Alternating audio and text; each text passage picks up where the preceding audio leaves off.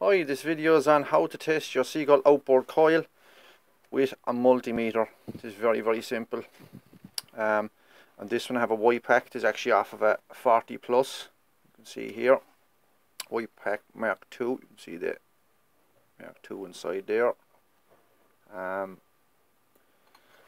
first of all, I suppose you need to clean your points. I have another video up on how to clean the points. Make sure your points are perfectly clean.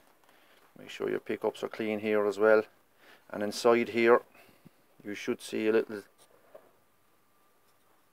a little um little tip that's there. Get the screwdriver there now we can see it better.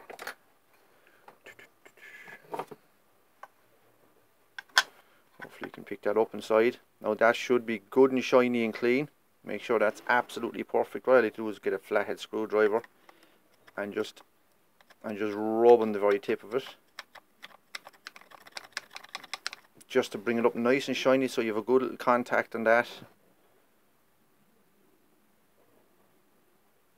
You can see it there it is nice and clean looking. Just blow it out make sure there's no dirt inside there.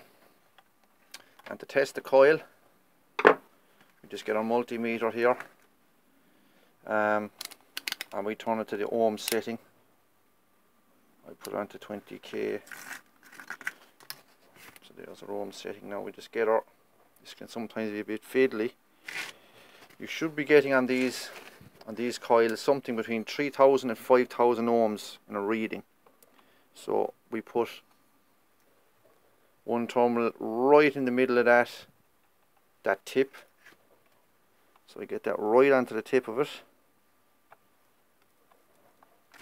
Make sure we can see what we're doing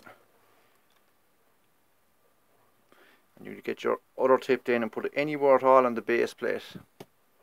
And then getting a reading there of 4.78 so this coil is absolutely perfect. So again just get the tip. Put your terminal onto the tip there.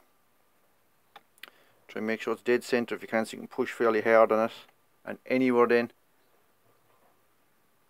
on the, uh, the base plate and you're getting a reading there of 4.78 so that's it how to test with your with your multimeter. Um, I will be doing another video on the Wipac coil and ignition and the drill trick that we put on top just to uh, spin it up. Sometimes to uh, on the Villiers as well just to uh, just to put a bit of life back into it.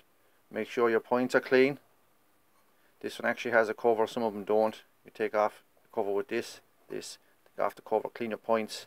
I have another video on how to remove the flywheel and the the uh, the Wipac ignition as well. So that's it. Um, I have another video on that as I said. So like and subscribe and thanks for watching